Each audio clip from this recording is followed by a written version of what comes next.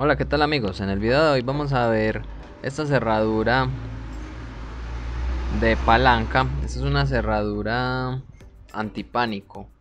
Entonces aquí tenemos esta cerradura antipánico Yale. Aquí podemos ver que tiene un orificio y vamos a ver cómo extraer la palanca.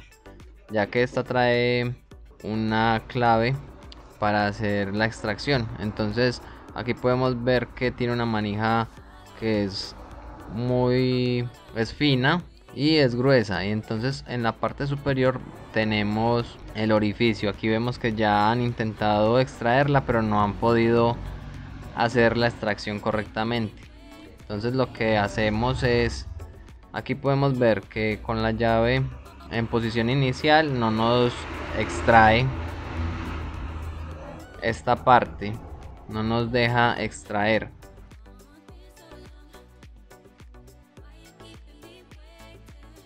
entonces lo que debemos de hacer es rotar ubicar la parte interna del rotor en posición correcta para que la llave pueda girar a este lado. Si no no nos gira. Entonces le hacemos la rotación y ya la llave nos gira correctamente. Ya se desbloquea y podemos hacer el giro del cilindro para así hacer la extracción de la palanca entonces hay que tener en cuenta la rotación de el pestigo de la parte interna para poder hacer la rotación con el cilindro. Para esto sirve para hacer los cambios de claves cambios de guardas o los arreglos pertinentes que tenga que hacer.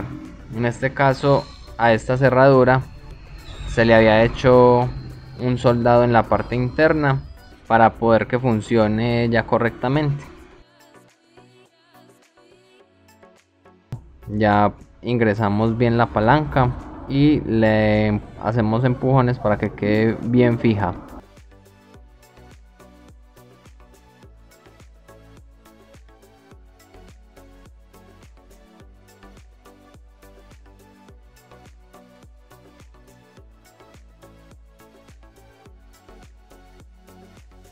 Espero que sea de utilidad por si les toca hacer algo en estas cerraduras antipánico que son las que se ponen en las puertas de los edificios. Con chapa esta chapa viene siendo una cerradura Yale. No olvides suscribirte al canal regálanos tu like y nos vemos en un próximo video